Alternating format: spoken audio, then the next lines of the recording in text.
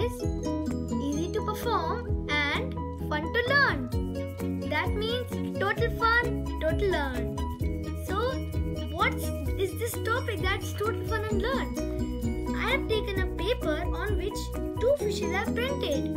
I think you will be you are able to see them so I will change the direction of the fishes without even flipping the paper or else touching those fishes. So let's see what is happening.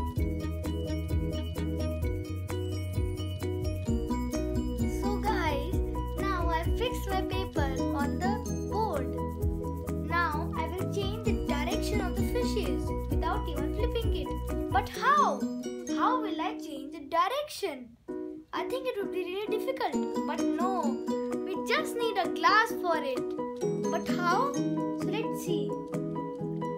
Now I will pour some water in the glass. And here now I am pouring some water. Guys, now can you see? One of the fish has changed its direction. Before, it was facing towards left and now it's facing towards the right. Let my camera focus completely. Now I think my camera has focused. Now I will also make the other fish change its direction. Now I will pour some more water. So guys, now can you see it? I think a little more now. So guys, isn't it like a magic? So let's solve the mystery of this magic.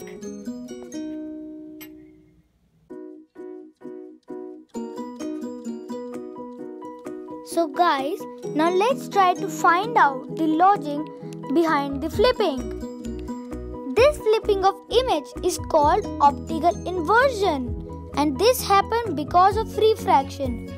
We know that refraction is bending of light in different density medium. I have already explained this phenomena in my video laser light part 1. In today's experiment, our glass of water behave as convex lens. When light enters glass filled with water, it bends inside because of refraction. It again bends when it is leaving the glass of water. Eventually, the light path crosses each other and image appears to be flipped horizontally.